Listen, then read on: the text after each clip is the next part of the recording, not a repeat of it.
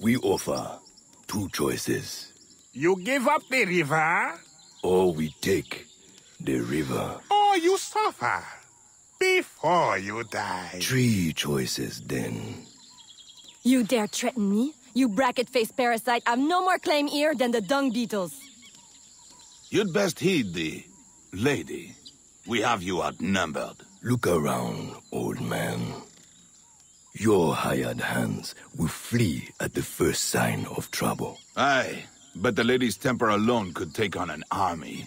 And the swamp is no friend of yours.